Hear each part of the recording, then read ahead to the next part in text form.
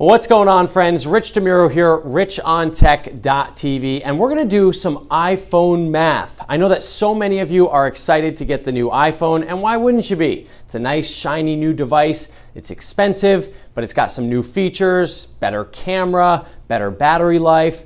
You get a bigger one if you want, the uh, Max. So let me go over some math because there's something really interesting that's kind of always gone on with iPhone pricing. And that's basically when you buy the least expensive model, you're actually paying the most. I know, sounds kind of crazy. Let me explain. So I've got the pricing here for the iPhone XS. Let's start with that. So we got the XS, right? So let's just do basic pattern math, okay? So for 512 gigs, you pay $1,349.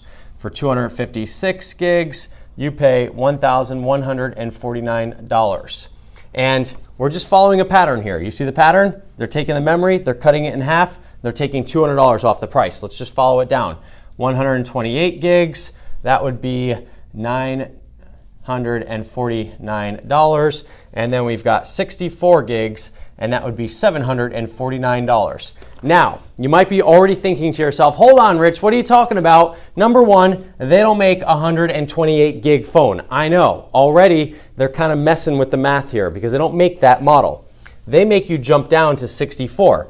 And you might be thinking, hold on, 64 gigs is not $749. It's actually $999. A difference of let me get a better color here so you can see. $250.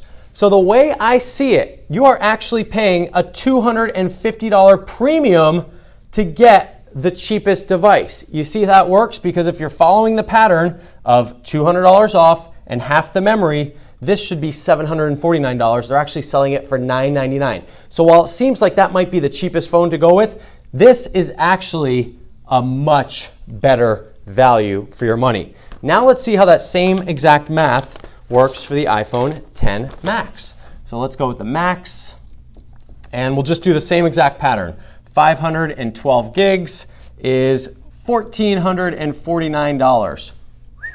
Uh, then you get 256 gigs, and that is $1,249. Oh, do we see the pattern that's already emerging? So what would the next number be? 128, which is half the memory, and this would be $1,049, right? And then we go down to 64, which is half the memory, and we go down to $849. Now, again, they're not selling this model. You can't get it in 128, which is interesting because it would follow that pattern, right? You can only get it in 64.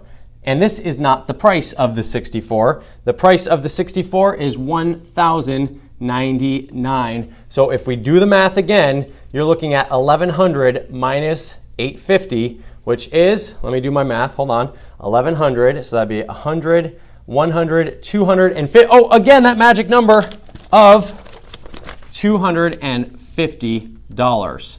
So you're actually paying a $250 premium to get the cheapest phone. So again, your best bet when it comes to the iPhone XS Max is this price of $1,249, and that makes it kind of expensive. Now, it would be great in an ideal world if they offered this combination 128 for 1049 and 128 for 949 that's not a possibility right now. So there you have it. I call it iphone math. This has been going on if you go back into history of all the iphones the memory versus the price versus the pattern never has added up so while most people think you're getting a deal by going with the cheapest, so-called cheapest one, I say bump it up. You're going to get much more memory for a better price.